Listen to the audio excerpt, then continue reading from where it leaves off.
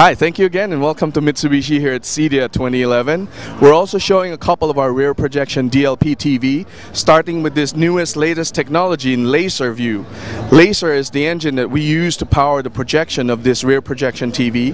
This is 75 inch color television that's supported by a laser light engine and it's supposed to be the most eco-friendly television in the world right now at a power consumption of about 84 watts in full operation and the cost of annual energy is about $20 per year.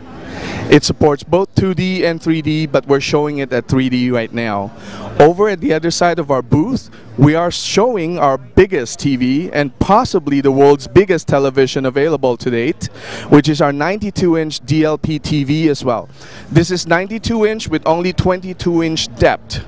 This is a full HD 1080p television and it supports 1080p. It supports both 2D and 3D as well.